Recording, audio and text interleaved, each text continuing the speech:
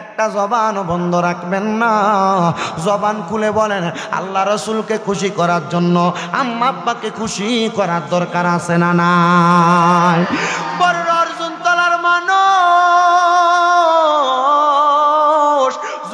জুদা কইরা দিয়া তাক নিয়ত করো, এখান থেকে বাড়িতে যে আম্মা আব্বার কাছে মাপ চাইবা। নিয়ত করো, এখান থেকে বাড়িতে যাওয়ার পরে আম্মা আব্বার কদমে ধরে মাপ চাইবা। দেখবা ওই আম্মা আব্বার কদমে ধরে মাপ চাইলে আমার আল্লাহ পাক রব্বুল আলামিন তোমারে মাফ করে দিবে, তোমার সম্পদে বরকত দান করবে, হায়াতের মধ্যে বরকত দান করবে। একটু নিয়ত করো না, দেখবা আমার আল্লাহ পাক রব্বুল আলামিন তোমার মনের আশাগুলা পূরণ করবে। আর অনেকে চিন্তা করে, হুজুর যাদের বাড়িতে বাবা আছে তারা বাড়িতে দেয়া বাবার পায়ের মধ্যে ধরে মাপ চাইব। আমার তো আব্বা নাই আমি কার পায়ের মধ্যে ধরে মাপ চাইব? হুজুর দাঁড়িয়ে বাড়িতে মা আছে, তারা বাড়ির যে আমার পায়ের মধ্যে ধরে মাপ চাইব। আমার তো মা নাই, আমি কার পায়ের মধ্যে ধরে মাপ চাইব? ও সন্তান, এখন তোমার চোখের পানি আসে না। বাড়ির মধ্যে যাইয়া আম্মার পুরান কাপড়টা দেখলে তোমার চোখের পানি টপ টপ করে পড়ে। আব্বার পুরান লুঙ্গিটা দেখলে চোখের পানি টপ টপ করে পড়ে। আমার নবীজি বলেছে, কোন সন্তান যদি তার মা বাবা ইন্তেকাল করার পরে তার চোখের মণিকুটার মধ্যে একটা মাত্র মাসির মাথা পরিমাণ চোখের পানি ছেড়ে দিয়ে কান্না করে, ওই পানিটা মাটিতে পড়ার আগে আমার আল্লাহ তোমার মা বাবার জীবনের গুণা মাফ করে দিবে। জানি না তোমরা কারা আজকে মা হারাইয়ে তিন হইয়া মা পিলে বসছ, জানি না কারা হাত বাড়াইছ মা পিলে হুজুর, আমার আব্বা নাই, আব্বা দান অন্ধকার কবরে।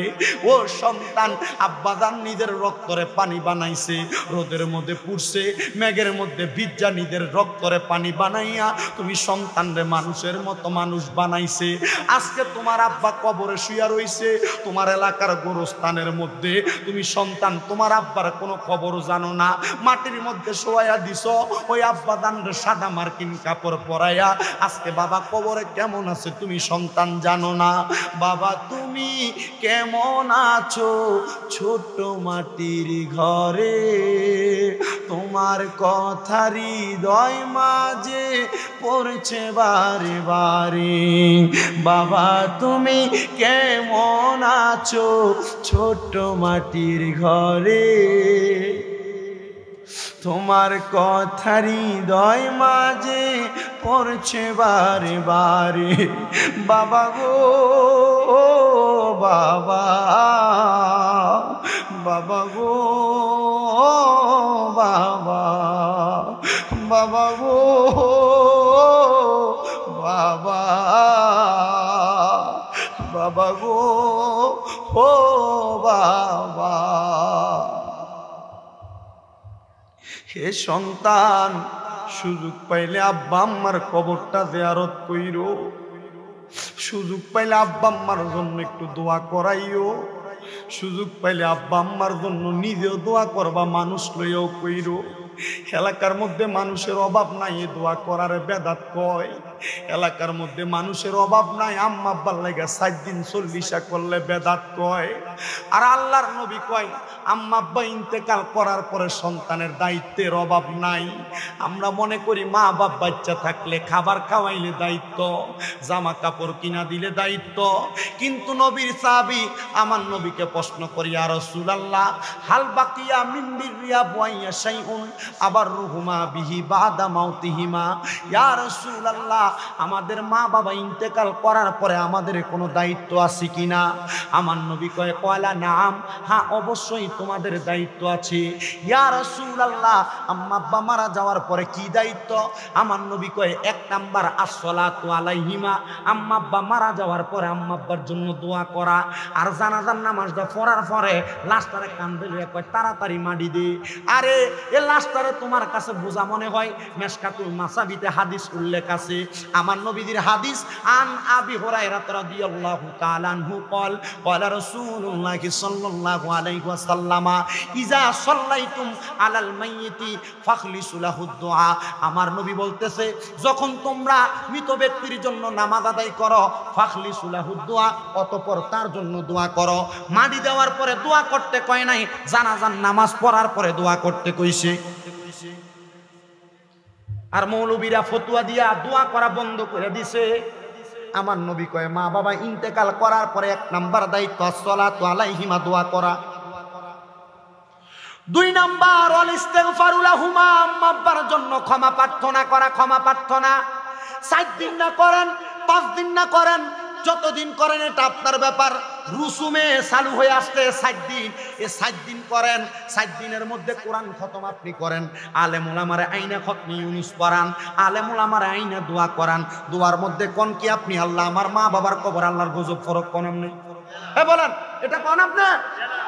আল্লাহ নবী কই ওয়াল ইস্তেগফারুলাহুমা আম্মা আব্বা মারা যাওয়ার পর সন্তানের দায়িত্ব আম্মা আব্বার জন্য ক্ষমা প্রার্থনা করা। আলেমুল আমার আইনা, কোরআন খতম করায়া দোয়া করায়। আল্লাহ আমার মার কবর আদাব মাফ করে দেন। কোরআন খতমের উসিলে আমার আম্মা আব্বারে ক্ষমা করে দেন। তা আম্মা আব্বার জন্য মাফ চাইলাম, ক্ষমা প্রার্থনা করলাম। ক্ষমা প্রার্থনা করার কথা কইছে আমার নবী। আপনারা বলেন, নবীর কথা মানবেন না কাঠমোল্লার কথা মানবেন? আমি ওনাদের যারা ফতুয়া দেয়, ওনাদের ছাত্র ছাত্র তুল্য। কিন্তু কেন ওনারা এই দোয়াগুলাকে ডাইভেট আলাদা করে মানুষকে এই দোয়ার থেকে ডাইভেট করে অন্যদিকে নিয়ে যাচ্ছে, এটা তারা ভালো জানে। আপনারা বলেন, আকায়েদে আহলে সুন্নাত ওয়াল জামাত, এটা কি হক না বাতিল? বলেন, আকায়েদে আহলে সুন্নাত ওয়াল জামাত, এটা কি হক না বাতিল?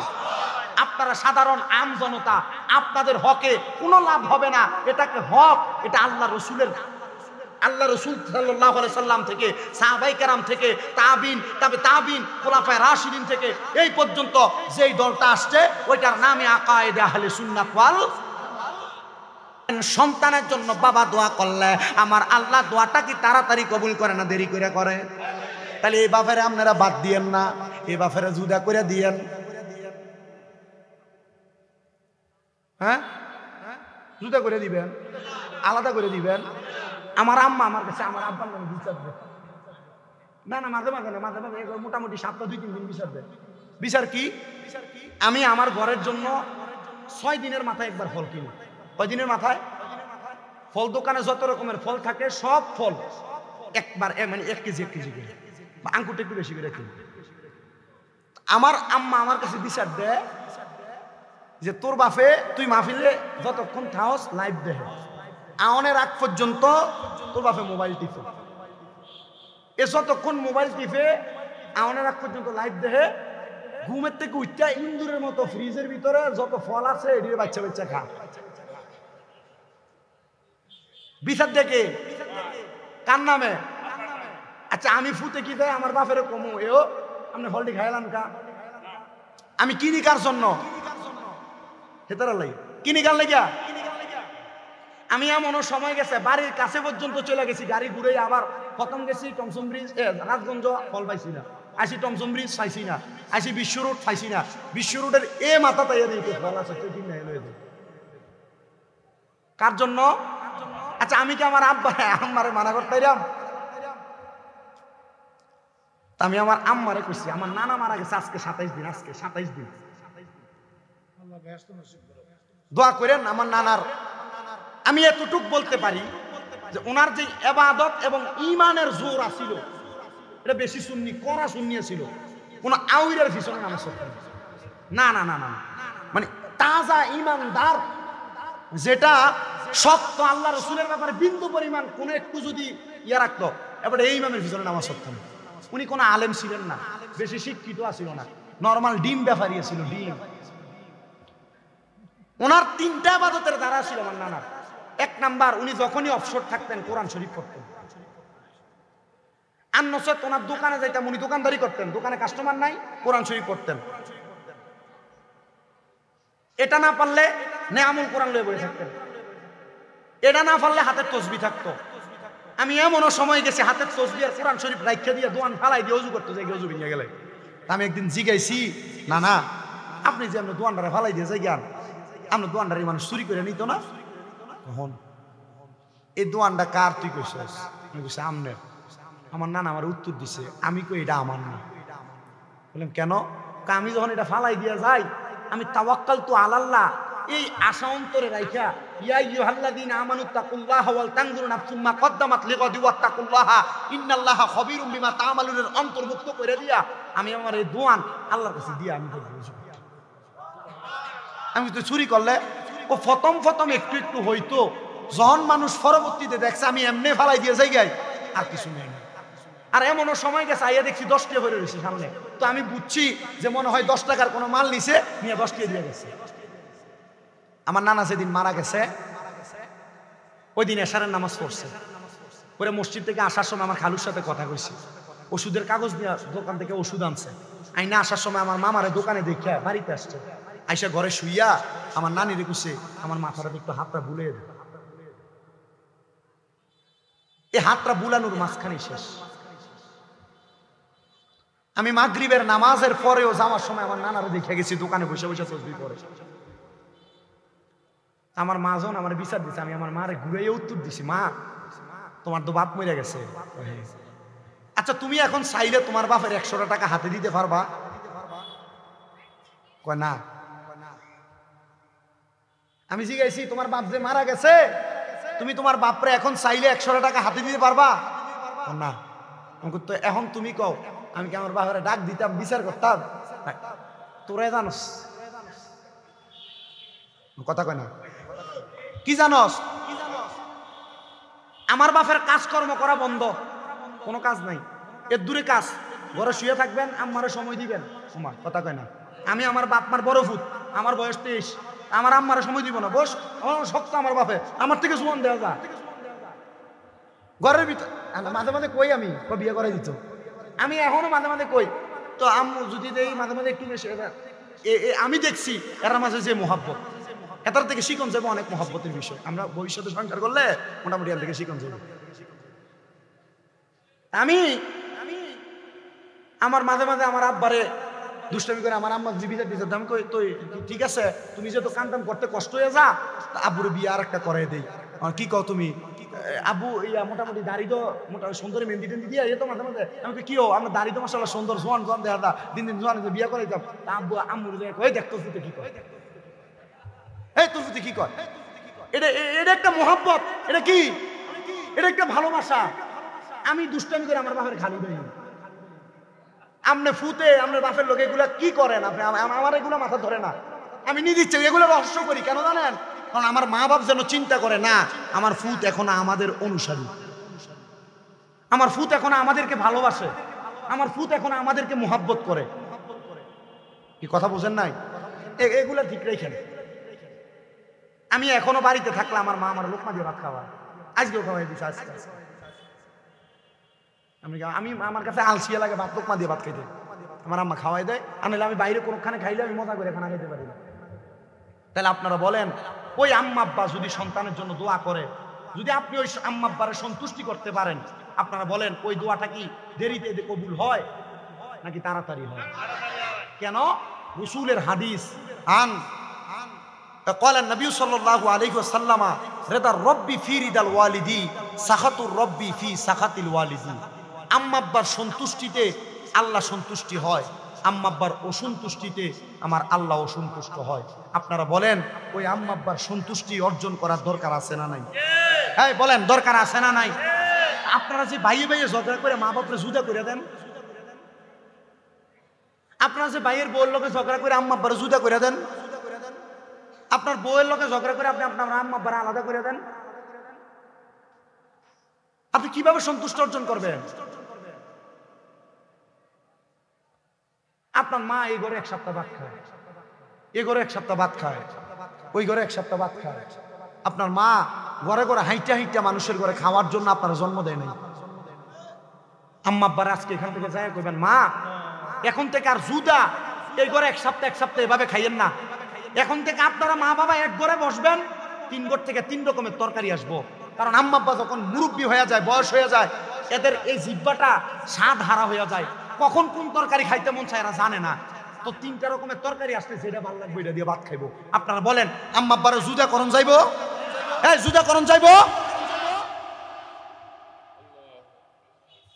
আপনি মনে করছেন আপনার আম্মা আব্বারে জুদা করে দিয়ে আপনি বড় ঘিনার এক সপ্তাহ আপনার ভাইয়ে খাওয়াইছে। আই আসলে জিগা, এই গত সপ্তাহে তারা কিতা কিতা খাওয়াইছে তো ক মা আছে তো খাবা তিন বেলা এবার পাট্টা পাট্টি করে এ বউ এন না মুরকার আইন দেখাবে জি না জি আম্মা, বা, দুইজন মা, একজন মা, একজন বাবা দুইজন ব্যক্তি, আপনারা চারি, পাঁচজন সন্তানরে তাদের নিজের খাবারগুলা আপনাদেরকে খাওয়াইছে। আর আপনারা পাঁচজন সন্তান আপনার সেই মা বাপরে খাওয়াইতে পারেন না। আপনাদের মতো কপাল পোড়া সন্তান লাভ নাই এই দুনিয়া থাইকা, কারণ কবরে যাইবেন কোনো উপায় করতে পারবেন না। ব্যবসা করবেন, লক্ষ কোটি টাকা কামাই করবেন, আল্লাহর কসম, এগুলো দিয়ে কোনো উপায় করতে পারবেন না। টাকাই কামাই করবেন, শান্তি কামাই করতে পারবেন না। কদমে হাত দিয়ে বলি পাল্লা দেন আপনার পা দিয়ে আমার সামনে দেন, পা পরিষ্কার করে দিব। যদি কেউ আপনাদের মা বাপরে এমনি জুদা করে দিয়ে থাকেন, এখান থেকে বাড়িতে যে আম্মা আব্বার দিয়ে আমজা করে দুইরা ডাক দিয়ে কবেন মা আল্লাহ রস্তা মানে মাফ করে দেন। আব্বা আল্লাহ রস্তা মানে মাফ করে দেন। আপনাদের সাথে জীবনে বড় অন্যায় করছি, এই অন্যায় আর জীবনে করতাম না। আব্বা আল্লাহ রস্তে মাফ করেন। যতক্ষণ পর্যন্ত আপনার মা বাবা মুখ দিয়ে বলছে হ্যাঁ মাফ করে দিছি, ততক্ষণ পর্যন্ত মা বাপের ফাও সাইরেন না। কারণ এই আম্মা আব্বা যদি মাফ না করে, দুনিয়ার কেউ আপনারা মাফ করবে না। দুনিয়ার মানুষ মাফ করবে দূরের কথা, স্বয়ং আল্লাহ মাফ করবেন আপনাকে। আপনি আম্মা আব্বার পাও ধরতে আপনার কাছে সরম লাগে। আপনার কাছে সরম লাগে। যদি জিজ্ঞাসা করি, আপনার মা বাবার পায়ে ধরে কবে মাপ চাইছে না সালাম করছেন? হুজুর, দুই ঈদের দিন আম্মা বাবার পায়ে ধরে সালাম করতে আমার সরম লাগে। কিন্তু আল্লাহর নবী কয়, সালাম না, মাঝে মাঝে সুযোগ পাইলে আম্মা আব্বার পায়ে সুমা দিও।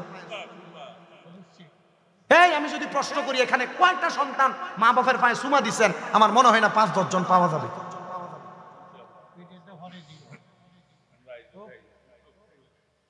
বলে, হুজুর, সুমা দিলে? শিরিক হবে না? না না শিরিক হবে না। কারণ আল্লাহর হাবিব সাল্লাহ সাল্লাম নবুয়ত প্রকাশ হওয়ার পরে মক্কা নগরীতে তেরো বছর ছিলেন। এই তেরো বছরের জিন্দিগি আল্লাহ রসুল যখন মক্কা থেকে মদিনার দিকে হিজরত করে গেছেন, সব সাহাবাই কেরাম রসুলকে বলছি, ইয়া রসুল্লাহ আপনি বলছেন, আনা আউ্বালু মাইয়াকরাউ বাবাল জান্না আপনি সর্বপ্রথম জান্নাতের দরজা খুলবেন নবী। আপনি ওই জান্নাতের দরজা খুলে আমাদেরকে নিবেন। আমার নবী সবাইকে বলছে হ্যাঁ আমি নবী তোমাদেরকে নিয়ে জান্নাতে যাব। একজন সাহাবি মাঝখান থেকে হাত তুলে ইয়া রসুলাল্লাহ, জান্নাতে তো নিবেন নবী গো, জান্নাতে নিবেন সত্য কথা। তবে আপনি এই মদিনা থেকে আবার যেদিন মক্কায় যাবেন, আপনার সাথী বানাই আমার নিয়ে যাবেন।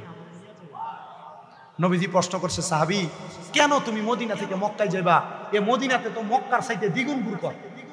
দ্বিগুণ বরকত মদিনাতে। আর অনেক মোল্লারা আছে, এটি হজ করে মক্কায় গেলে চলবো, মদিনার ভিতরে যাওয়ানোর কোনো দরকার নাই, মদিনা হজের অংশ না বলে।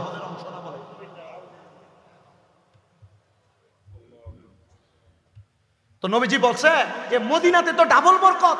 মক্কায় যাবে কেন? ইয়া রসুল্লাহ আমার বড় আশা এই যে এত সুন্দর একটা মক্কা শরীফ, এই মক্কার চৌখাটে একবার চুম্বন করার জন্য। আমি বাংলা কইতেছি, হুজুরের লগে দিয়ে আরবি কইতেছি ইবারতগুলো। আমার কাছে ভালো লাগতেছে ওয়াজ করে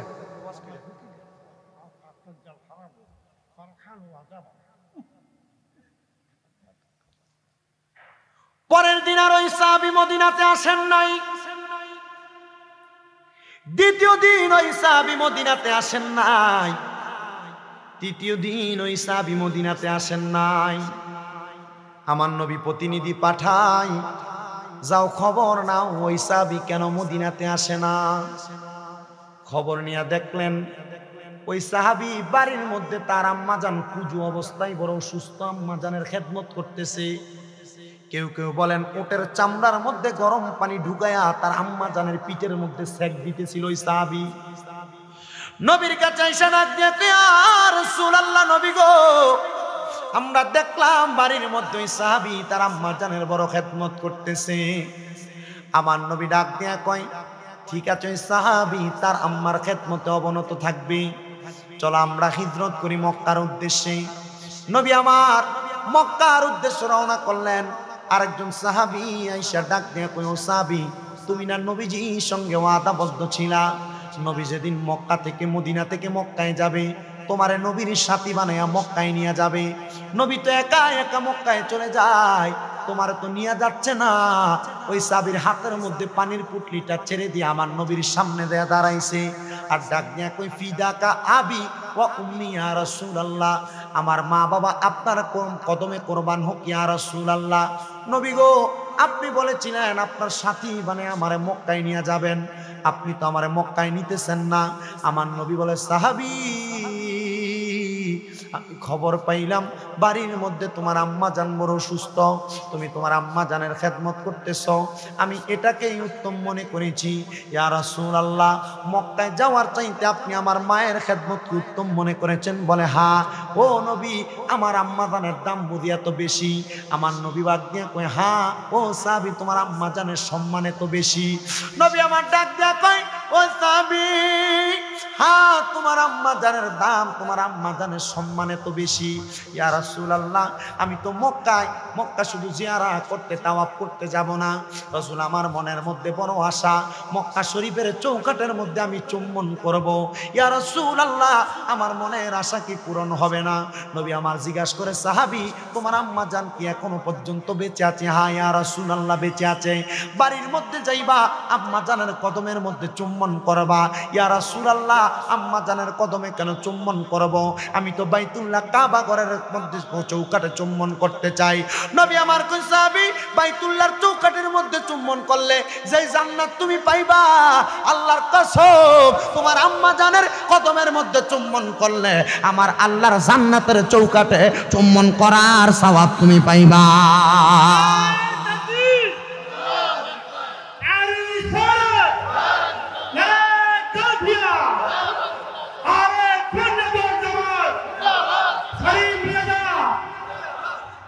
বাবাকে তোমরা কাবা জানিও, মদিনা জানিও মাকে। যদি গো তারা বেঁচে থাকে বাবাকে তোমরা কাবা জানিও, মদিনা জানিও মাকে। যদি গো তারা বেঁচে থাকে, নবী বলে আমি সেবি নাই, সেবিতে পারি নাই। আমি সেবি নাই, সেবিতে পারি নাই, সেবিও আমার উম্মত। সেবিও আমার উম্মত। সেবিও আমার উম্মত। বাবারও মুখেতে মায়েরও মুখেতে যে তুলে দেয় খানা না রাজি থাকে রাব্বানা, রাজি থাকে রাব্বানা। নবী বলে, আমি করি নাই, করিতে পারি নাই, আমি করি নাই, করিতে পারি নাই পিতা মাতার খেদমত করিও আমার উম্মত, করিও আমার উম্মত। বেশি উপরের কোনো ক্লাস নয়। মাদ্রাসার মেশকাতুল মাসাবির কিতাবুল ইমানতের ভিতরে এই হাদিস শরীফ উল্লেখিত। তারা ফতুয়া দিয়ে আপনাদেরকে অন্যদিকে ডাইভার্ট করে নিয়ে যাবে। আপনারা বলেন, মা বাবা মারা যাওয়ার পরে সন্তানের দায়িত্ব আছে না নাই? জুড়ে বলেন দায়িত্ব আছে না নাই? কি ফারে ফারে মানি দিয়ে চলে আসা? আম্মা আব্বা মারা যাওয়ার পর এক নাম্বার দায়িত্ব দোয়া করা, দুই নাম্বার দায়িত্ব, ওয়াল ইস্তেগফারুল্লাহুমা ক্ষমা প্রার্থনা করা তিন নাম্বার দায়িত্ব, ওয়া ইনফাজু আহাদহিমা আম্মাব্বার ওয়াদা পূরণ করা। বলে হুজুর, ওয়াদাটা কি? আম্মাব্বার ঋণ রেখে গেছে। আম্মাব্বার জায়গা জমি সাত দিন যাওয়ার আগে। ওই যারা ফতুয়া দেয়, দোয়া করন যাইতো না এটিরে দেখবেন আগে ভাগ করে কথা কয় না কেন? করে কি করে না? কিন্তু হাদিস শরীফ প্রমাণ করতেছে ইনফাদু হাদিহিমা ওয়াদা পূরণ করা। আম্মাব্বার জায়গা জমি সন্তান বাক কইরা নেওয়ার আগে, ওই জায়গার অংশ বিক্রি কইরা আগে আম্মাব্বার ঋণ পরিশোধ করা। আপনার আম্মাব্বার বড় শখ আছিল, মরণের আগে একবার হজ করব, হজ করতে পারে নাই। এই জায়গা সম্পদের একটা অংশ বিক্রি করিয়া আগে আম্মাব্বার নামে একটা বদলি হজ করান। আর নচেত আপনি সন্তান, জালেম জালেম হিসেবে উঠবেন। আর জালেমের ব্যাপারে বলা আর ইয়াউমাল কিয়ামা। জালেম যারা জুলুম করে, তারা কেয়ামতের ময়দানে অন্ধকার জায়গার ভিতরে উঠবে। আপনি আপনার আম্মা আব্বার জায়গা জমি এমনি বাক করে নিজ্ঞান চিন্তা করে রাখছে, আমার বাপের সম্পদের অভাব নেই, আমরা বাইরে দুইজন। বাপ মরে গেলে মোটামুটি সম্পদ আমরাই পামু। জি না। আগে বাক করে আপনার কষ্ট হচ্ছে? আম্মাব্বার ওয়াদা পূরণ করা, ঋণ দেওয়া, এটা সন্তানের দায়িত্ব, মা বাবা মারা যাওয়ার পর। আর নচ্ছে জালেমের কাতার উঠবেন কাল কেয়ামতের ময়দানে। নবী আমার বলে চার নাম্বার দায়িত্ব ওয়াসিলাতির রাহমিল্লাতি লা তুসালু ইল্লা বিহিমা। জবান খুলে উচ্চ কণ্ঠে জোরে জোরে পড়েন আল্লাহু আকবার।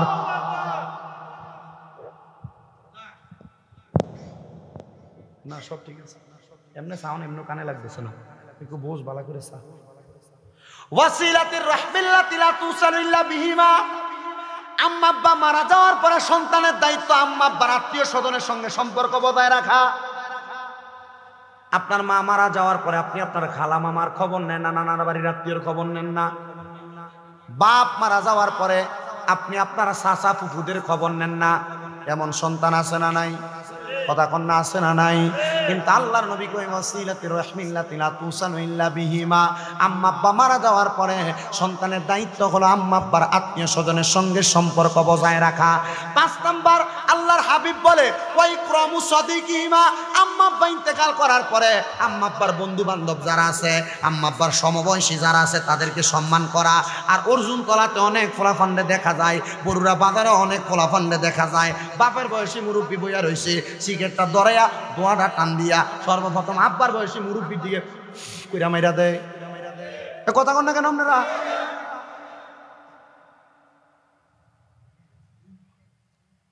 এই শীতকাল আইছে। ব্যাডমিন্টন খেলা লইয়া মুরব্বীরা লগে ফোলাফাইনের কত ঝগড়া হয়? লাগেনি খালি?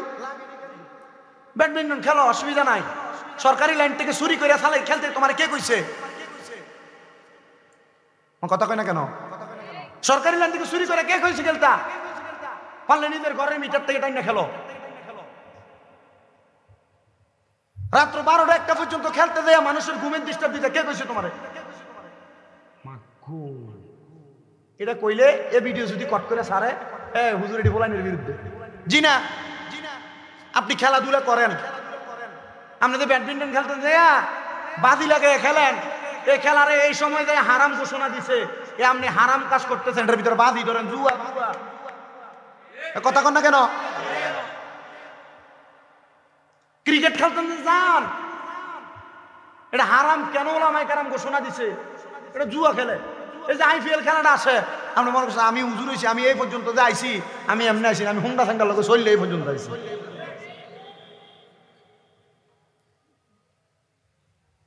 আমার লোকের একটা আছে, রাসেল না এখনও মেসেজ দিলে আমি নিজে ইচ্ছা করে দেখা করিনি। কি লেগে ক্ষেত্রে দেখতাম আমার লোকে বয়ে বয়ে মাদ্রাসা ক্লাস না হইলে ফোন দিয়ে কথা বলি। হ্যাঁ দোস্ত আজকে তো অমুকের খেলা। আমি এক হাজার খাম। আমি কি রে এক হাজার খাইবি কাহিনী দেখি। পরে গোড়ার থেকে বহুত দিন পরে সাহস করে তারা কষ্ট করে খবর লইলাম। আরে আসলে অমুক দলের অমুক দলের খেলা তো এক হাজার খাম মানি আমি এ দলের পক্ষ এক হাজার করে লাগাইছি। সাংঘাতিক অবস্থা তো। কথা বলেন না কেন? এর লেগে খেলাধুলার এই অংশগুলোর হারাম করছে কি লেগা এর লেগা ওই যে মারামারি হয় ভিডিও ভিডিও। বউ স্বর্ণ বন্ধক দিয়ে না খেলে বাদি জুয়া জুয়া জুয়া। আপনারা বলেন, এই ইসলামের মধ্যে এই কাজগুলা করলে আপনি কি কখনো জান্নাতে যাওয়ার আশা করতে পারেন নাকি? বলেন, জান্নাতে যাওয়ার আশা করতে পারেন? ইসলাম সুন্দর। সুন্দর সুন্দর কাজগুলা করার চেষ্টা করেন। আপনার কি কষ্ট হচ্ছে? একটু মোহাব্বতের আওয়াজে দোলচ্চনি পড়েন আল্লাহ। হুম্মা সাল্লে